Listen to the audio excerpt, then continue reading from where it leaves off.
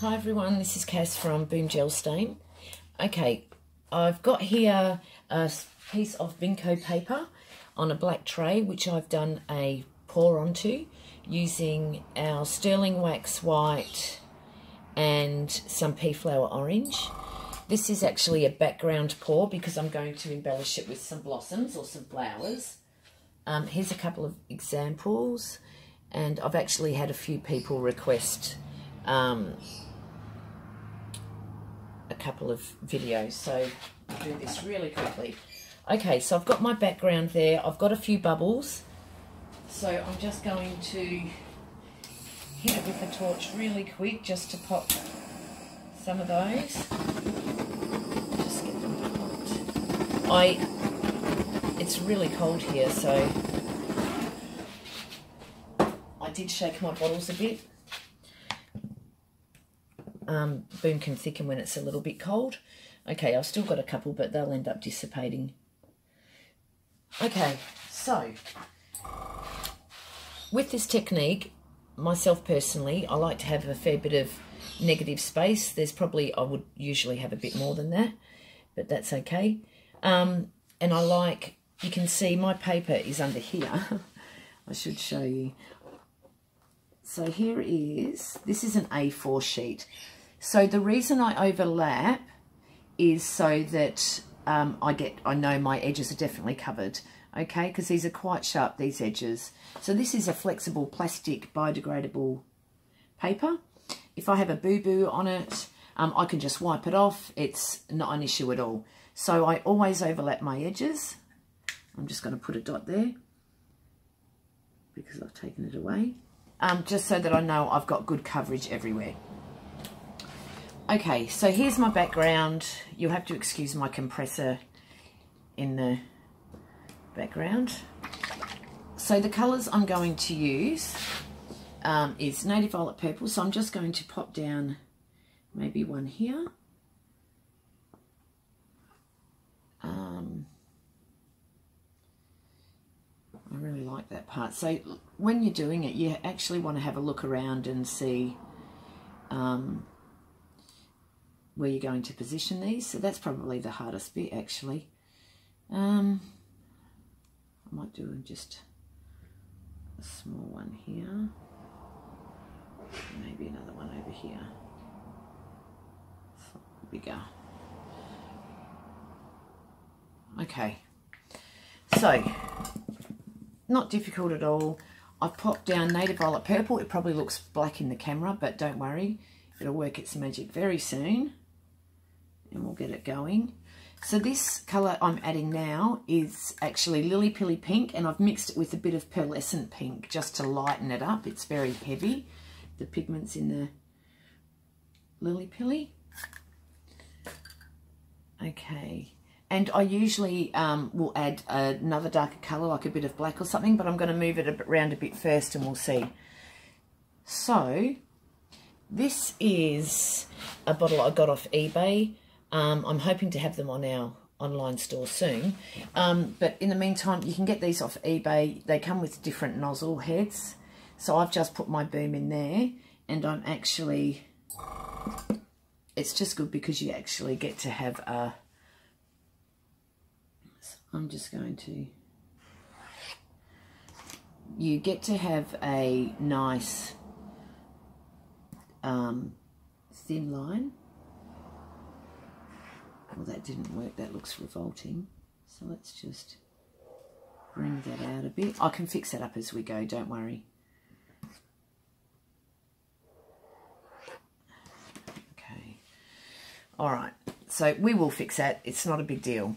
It's easy sorted. So let's just get our flower happening first. All right, so we're going to start over here. Now you can use a straw. Um, I'm using a compressor so that I can keep it still and you can see what's going on. Okay, so I'm going to go out this way a bit first. Okay, and I actually usually do my two sides of the flower and then the center, but everybody's different. Okay, my PSI is set on about just under 30.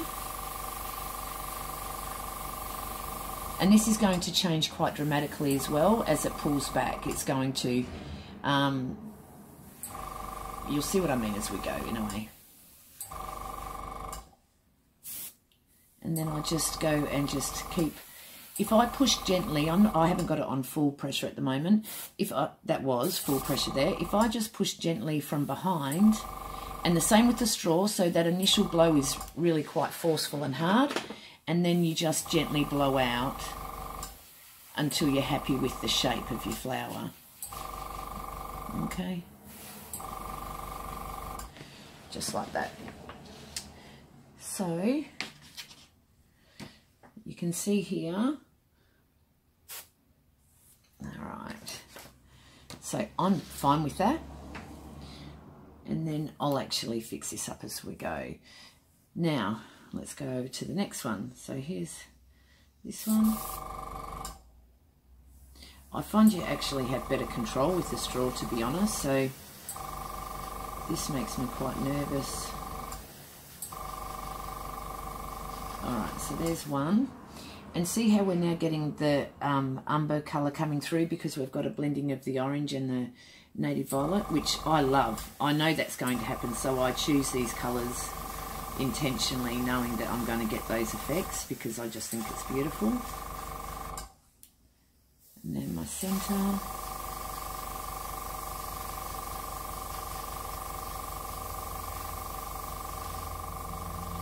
There we go. Now I want to pull this out a little bit more so I'm just going to go here.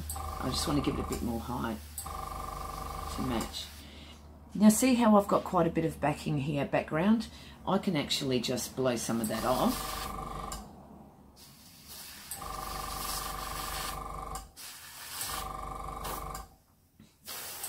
There we go.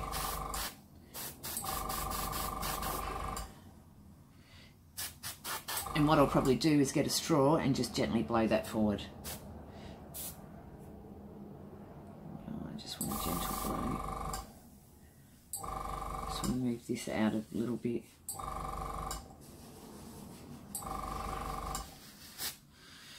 Ah. Swab. Damn. Okay. And I just got to make a little bit bigger just to match because it won't go otherwise. Not in my head, in a way. There we go. Okay, I'm happy with that now, I think. There we go. Now I am. Um, maybe a little bit more here.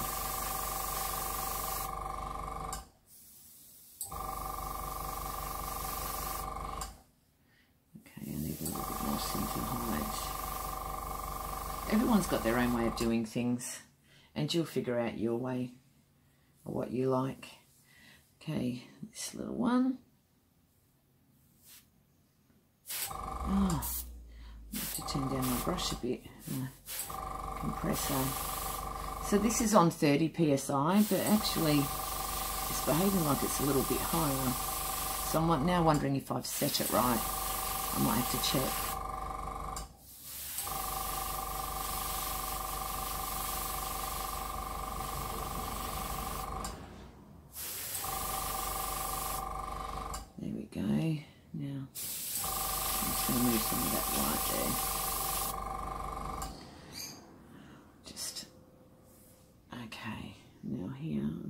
To bring that down a little bit. Okay, and I'm going to bring this one down a little bit. Just release some of that pressure.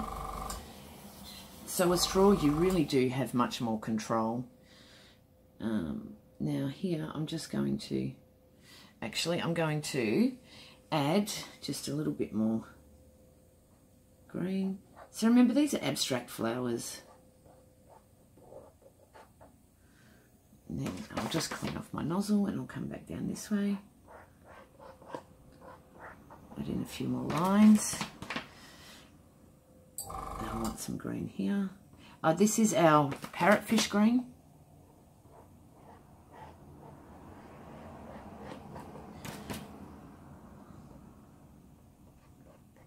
And this is going to change because this is fluid art, remember? So we're going to have um, a lot of change happening, some cells moving around, that kind of thing.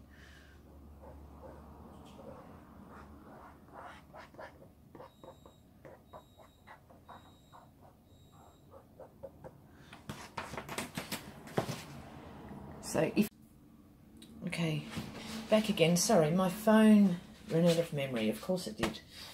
Okay, um, so that took me about a minute. Well, my phone was off for about a minute. So you can see here we've got some really nice effects starting to happen. I'll just give you a closer look.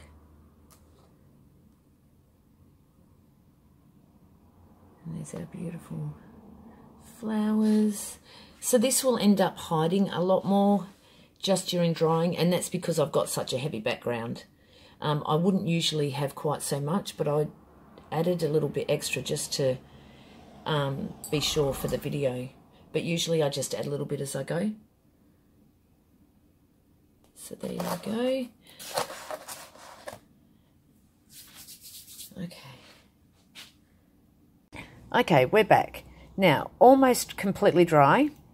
And I am working indoors. Um, it's now heading towards late evening. So the lighting isn't that great. Um, but I'm actually really quite happy with this. I'm just going to try and tilt it up so you can see. Okay, you kind of get the idea. Sorry. All right, now the edges I'll show you. So here it's completely dry on this corner. So this is what happens. It just starts to level out and dry. So it stopped moving. This is the finished result. Um, I'm trying to get you a good view. I'm really sorry. But the um, I'll put up a dry image as the tag thing for the video. And for those of you who don't know, you can always pop onto the Facebook group Boom Gel Stain and I'll have a heap of pics on there. Okay, thanks for watching everyone. Bye.